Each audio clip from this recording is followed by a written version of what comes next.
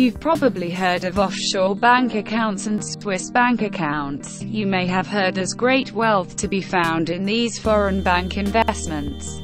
But what's really so special about these esoteric banking opportunities? An international bank is a financial entity that offers financial services, such as payment accounts and lending opportunities to foreign clients. These foreign clients can be individuals and companies, though every international bank has its own policies outlining with whom they do business.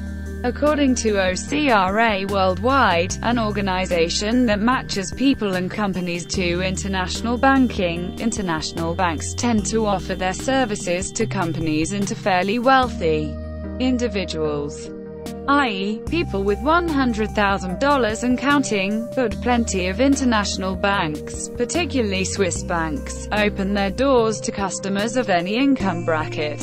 Companies do business with international banks to help facilitate international business, the complexities of which can be quite costly.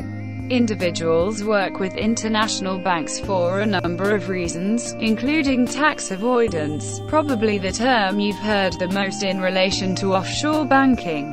Tax avoidance isn't necessarily illegal, as you will learn on the pages that follow, but there are plenty of other hazards in international banking.